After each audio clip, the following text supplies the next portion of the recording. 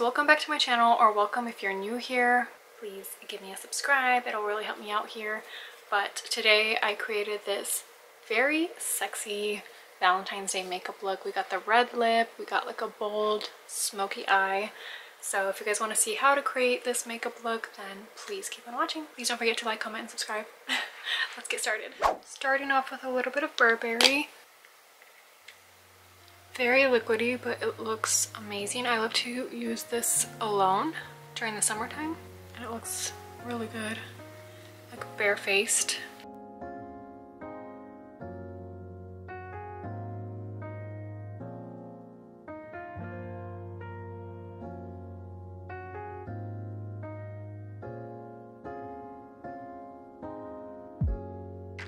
Gives it a really beautiful base Put a little bit of moisturizer on, a little bit of a lippy before I go any further because my lips are super dry. Now we will be doing some concealer. This is the She Glam concealer. I feel like when I use that Burberry Luminous product, I feel like I don't really need a foundation. You can go for like a clean girl aesthetic with it. But I will be doing bronzer and blush and all that a little more on the glam side today. But I probably won't use a foundation. Actually, I'm gonna use this little brush so I don't ruin my brows. I normally don't do brows first, but I did today. I already filmed a Valentine's Day makeup look this morning. It's like probably almost 8 p.m. It's already dark outside. I took my makeup off, getting ready for bed and then I was like, you know what? I'm gonna film another makeup look. I got my Valentine's Day nails. So the makeup look I filmed earlier was more of like a romantic, soft Valentine's Day look. This one's gonna be a little more like on the sexy side. I'm thinking reds. Not quite sure what we're going for yet. I don't have anything in mind. I just know I want to use red. I'm just gonna use a little bit of this Physicians formula right around here. Three dots there, three dots there. That's good. Just to give a little bit like medium coverage. A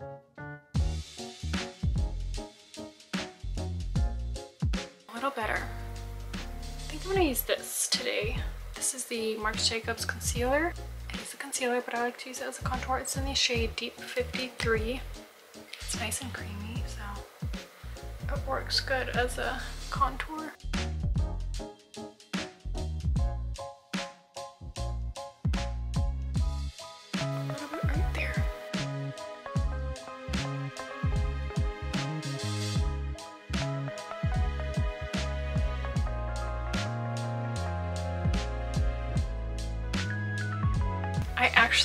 Ordered some things because I was gonna do like a Valentine's Day related makeup look or not just makeup look but like a get ready with me for Valentine's Day like a Valentine's Day maybe date date versus like a like a romantic date night.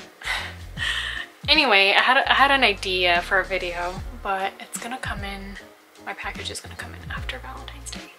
So I had to improvise and like film a couple Valentine's Day makeup looks. My point was that I ordered a red blush because I don't have a red blush and I wanted to give it a try and I feel like it'd be perfect for Valentine's Day. So I might have to use something else. But what was I about to do? Well, I guess since we're talking about blush, we can go ahead and get to that step. I have lipstick. This one I feel like is a little too bright. I want something darker. I wonder if I have a... Ooh, maybe this will work perfect. This little Burberry gloss. This is in the shade number 65, Military Red. I don't know, let's just try. There's no way this is empty. I know I haven't used, oh, it's coming up from the sides. Oh, that's too much.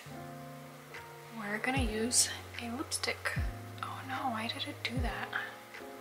Like there's so much product on there now. I don't wanna waste it. Let me blend this and see if I need more first. I feel like I should have done one cheek at a time because it's drying down pretty quick. But that is really pretty. I might use this as a blush because I doubt I'll ever use it as a lippy. Maybe I'll use it today, see if I like it. I'm just gonna like pick up a tiny bit. Try not to overdo it. Oh my gosh, maybe I already did. I'm really red. Put a little bit on my nose. I look flushed and super greasy, but it's okay, we're about to set it. I'm gonna go back in with the foundation brush and just blend that, make it a little more subtle. But that is such a pretty blush color. I didn't even need to buy a red. As for the powder, I'm gonna use Coty Airspun. This stuff smells so good. I like to tap the extra like this. I'm not gonna do it midair because it's gonna fall all over my stuff, but I'm gonna do it right above my little container. Then I dab the rest into the palm of my hand and then set it. And it gives you like the most airbrushed look ever. Dabbing off the extra and then setting. So pretty.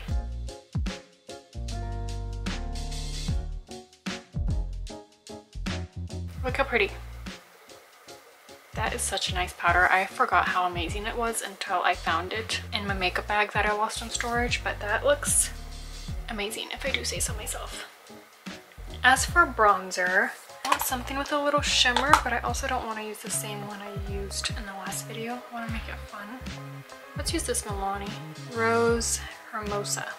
Hermosa Rose. I don't know why. I feel like Milani does this a lot where they put a name and then they write it backwards underneath. I don't really understand, but let's use a little bit of this.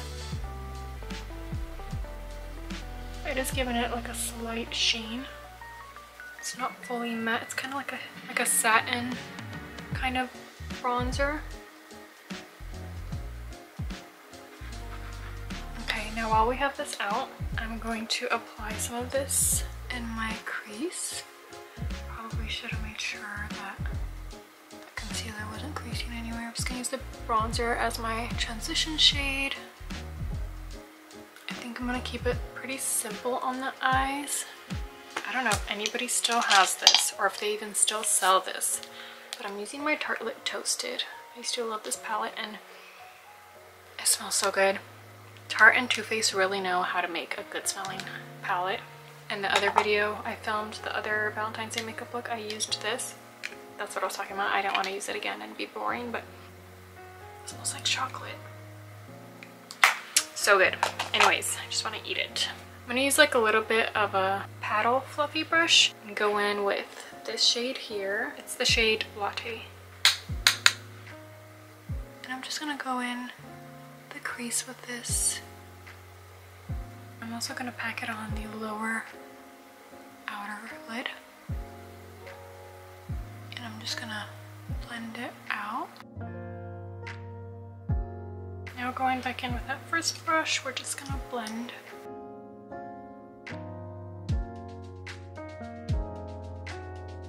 Little pencil brush. And we're gonna apply this on the lower lash line. I have to close my eyes when I do this, otherwise I get it all inside my eye. With that same pencil brush, I'm gonna go in with this shade on the top right corner, the shade Crackle. It's like a brown with some gold glitter in there. You can literally see, maybe you can't, but I can see glitter being flickered off. We're gonna apply this. Ooh, I was about to say like really light-handed, but I even went too heavy. Wait, before I go any further, I'm gonna use some tape to give it like a winged look. I mentioned in my other video, tape it on any body part before you tape it on your face, otherwise it's gonna pick up your foundation underneath. It's so hard to tell when you have clear tape if if you like stuck it on even. I should get like like artists use this tape to tape down paper onto the table and it's like normally colored Anyways, we're just gonna go in with this. So we're kind of gonna create like a little C shape here, like from the crease and then down by the lash line. I feel like this is very beginner friendly because tape makes everything look very professional. Now we can start blending towards the middle of the eye. Go back and with one of your other brushes, I'm choosing the little paddle brush. Some of the product that's left on there is going to help blend until it looks nice and blended. But once you start to blend, the sparkles kind of just disappear. Now on the very tip, we're going to blend in pretty far in on the crease. It's okay if it looks a little messy on the inside, we'll fix it up later. How far I'm going? Now, if you're a beginner at eyeshadow and this all seems too advanced for you, you could skip this step. You could have been done there and just added like the shimmer on the inside, which we'll do later, but you can totally skip this step. Okay, going back in with the other brush, we're just gonna blend. Blending is key to having a good looking eyeshadow. You just gotta blend until your arm falls off. My arm literally hurts. Back in with that first fluffy brush and we're just gonna blend some more. Windshield wiper motion. I'm just gonna go back in with that brush, see if I can get some of the gold little speckles back up there. I feel like you can kind of see it a little bit, but I'm just gonna push in the product just on the outer corner where we want it to be like the deepest. I can only see it in certain lighting. It looks very sparkly in there, like in the pan. I don't even know if it's picking up on camera. And once you put it on, it kind of just disappears. Peel this tape off. We have a little wing going on. If you don't know how to do like a wing liner, this is super easy. Grab a tiny little paddle brush like this and I'm going to use that same brown and blend underneath from the eyeshadow about halfway on the bottom lash line. We got that smoky lower lash line. I'm gonna go into the Bobbi Brown Night Drama palette. This palette is the best and for only one reason. This shade right here. This is gold. My husband got me this for, I think it was Christmas one year. And at first I opened it and I was like, I have these shades. I have so many palettes. I was like, that was so unnecessary. I mean, I appreciated the gift, but at the same time, I feel like, felt bad that he wasted his money getting me an eyeshadow palette when I probably have every single one of these shades in my other palettes. Until I tried this shade. There's nothing like this shade. I literally would travel with this eyeshadow palette just for this shade. I'm gonna use my finger. This shade is so pretty. I don't even know how to describe it.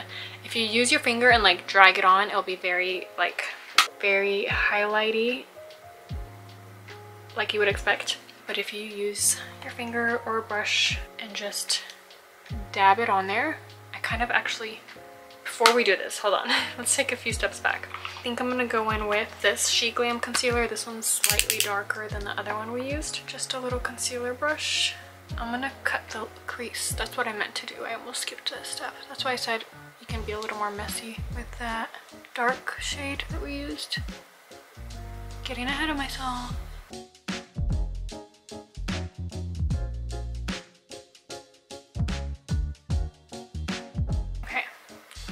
Meant to do. Now I'm going in with that eyeshadow and I'm just gonna press. Look how pretty, oh my gosh, I don't know if you guys can tell on camera how amazing it's looking.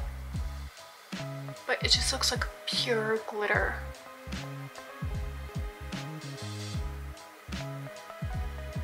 Now if you want this glitter to be a little more subtle, you can use like a, a transition or like some kind of lighter shade on the eyelid, like a matte shade before you go in with this if you just want it to be less glittery and a little more subtle.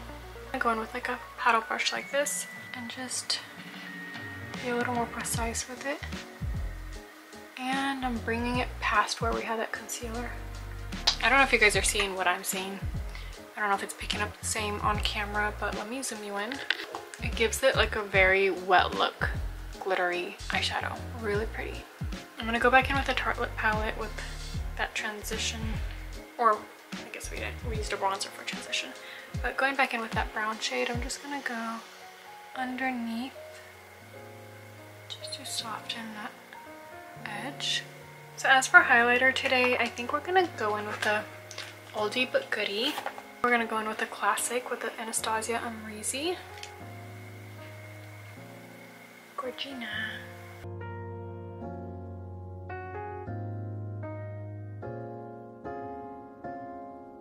I'm gonna go in with a small pencil brush and apply a little bit on the inner corner and kind of lower lash line. Just a little bit. And of course the brow bone. So now I'm thinking we're gonna go a little heavier on the lash compared to what I did earlier in the other video. I used like a half lash, kind of like a cat eye half lash. I I'm gonna go in with this one. I think so. Of course using my Duo lash glue, the best lash glue to exist, and it's super cheap. I'm literally doing my makeup in the dark. It Seems bright, but I'm kind of just blinded by this light and then I have no other light. Struggling a little bit, the glue on while the glue's drying. Getting a little tacky, I'm gonna curl my lashes. You wanna apply it kind of like angled up. Give it a little push. Now the other lash. I realized these past few times that I filmed a makeup look that I actually missed this filming makeup looks. I haven't done that in a while. I mean, aside from these last few times, but that's like all I used to do like years ago is just film makeup looks and then I kind of strayed away from that and I realized how much I miss it. It's just fun and therapeutic to sit here and play with makeup. Almost knocked over that red lipstick. It's like standing straight up like this, open. right in front of me and I almost knocked it over onto my carpet. I don't want to close it yet because I feel like I'm going to get the product all in the lid and I might try it on my lip today and see if it'll work. While I'm letting this get tacky, I'm to go in with a tweezer like this and just clamp my lashes together with the false ones.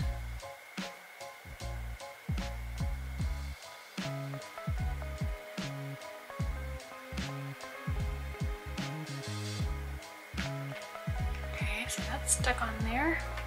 I give it a couple seconds before I clamp it together. Otherwise they just get lifted because the glue tweezers and the lashes get lifted. But in the meantime, I'm gonna use a little liner.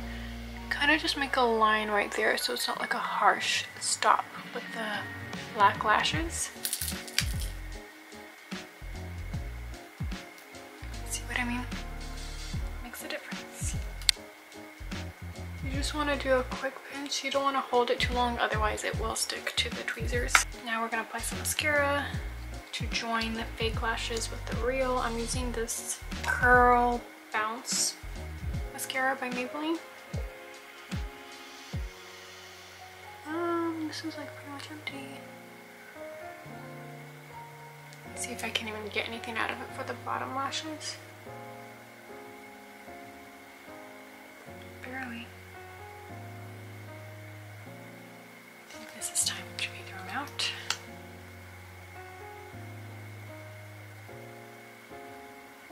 This is a pretty good mascara for like a natural fluffy lash. But we got our bottom mascara on. I'm gonna touch up my eyebrows real quick. Just because I feel like some of it got faded away when we did the concealer. I also feel like a bolder eyeshadow look calls for a bolder brow. Never a 2016 bold brow though. Not going back there.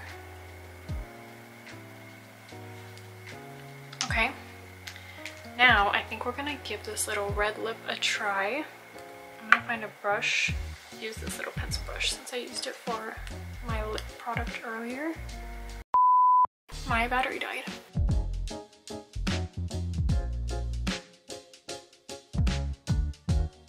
We could go for like that faded look, but I feel like it doesn't look good on my lips.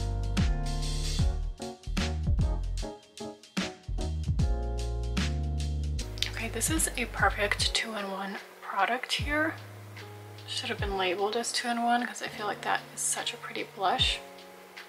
And I'm definitely going to be bringing this with me anytime I travel because I feel like I don't normally wear a bold lip, but out of all the reds, I feel like this tone of red looks good on me, I would say, but also like a deep burgundy red. I normally don't go for like a super bright or super cool tone. I don't know, I normally don't love a red lip on me, but I'm liking this. I might go in with a little bit of a liner just to deepen it up. I have this one by Stila, Smashbox, just kidding. It looked like a Stila packaging. And then this one by L'Oreal. Let me try the Stila first. It's a little deeper. Oh no. Might be time to throw this one away. Oh, it's super dry. This one is like the twist and it goes up. I'm trying to warm it up. See how that one is more of a blue tinted red. Okay, this has got to be thrown away. Super dry. Let's see if this L'Oreal has held it together all these years. Wow, still super creamy. That glided on so nicely. Drugstore wins. Smells kind of like a crayon, but this one lasted longer than the high end. Really pretty. I'm surprised I like it. Put a little bit more on my lips. Oh, maybe that was too much. Not too glossy though. I like how it looks kind of velvet velvety. Truly, truly surprised and this is kind of not what I expected the look to go towards, but this is what we have. And I think it's looking really good. This is going in my makeup bag. I normally have like a makeup bag, which is actually like a traveling bag. I only have this of my everyday makeup, the stuff I use more often. I just emptied everything on the floor to use to be able to reach easier. That's gonna go in there because I feel like that is a really gorgeous blush. I am very impressed and I'm actually liking this color on my lips as well. But that is all for this makeup look. I hope you guys enjoyed this sexy Valentine's Day makeup look that I created. Very smoky and smoldery and you know a guy can't resist a girl in a red lip. Apparently, that's what statistics say. that the most attractive thing on a girl is like a red lip according to Snapchat. Even though I feel like I, I could never pull off a red lip, but I'm actually liking this. Alright guys, that completes this makeup look. I hope you enjoyed this video. Let me know if you're going to try to recreate this makeup look or if you watched my previous video where, where I did a more of a subtle, flirty, romantic makeup look. Let me know, would you like better? I like them both for completely different reasons. I feel like this is something I'd wear more for like a sexy date night versus the other one I would wear more for like romantic, flirty evening date. So I like them both. I don't know. Both are very different. But anyways, thank you guys for watching. Please don't forget to like, comment, and subscribe. That really helps me out and boosts my videos, helps me grow. That's it for this video. See you guys in the next one. Today I'm going to be showing you guys how I created this. I need a minute. Go give yourself a bath. You stinky. Okay, Kona. Okay, let's go. Go, go, go, go, go, go, go. We're about to go outside.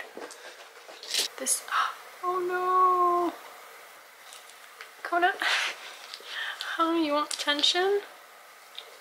Your breath stinks. Try not to use my fingers because I'm about to touch my face. You need a bath. Okay, Kona, I will take you outside soon. I promise. I don't want to waste all that product. Like it's just gonna get stuck in the cap unless I wipe it off less glittery, less glittery, less, less glittery. I knew that was gonna happen! I dropped it, but I don't see if it got on the carpet.